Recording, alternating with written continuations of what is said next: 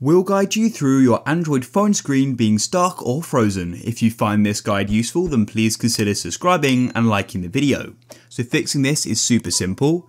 What you need to do is come onto the side of your phone and locate the power button. And what you need to do is simply go and hold down the power button. What I'd recommend you do is you hold it down for around 30 to 40 seconds and see if anything happens. If nothing happens, then what you may need to do is go and hold the volume down button and the power button at the same time. That's what I need to do. And if we keep doing that, it should then go and fix the problem. You probably won't see this screen here if your phone is frozen or stuck, but keep holding them and shortly your phone screen should go black. And then what you can do is just go and let go like that and your iPhone is now shut down.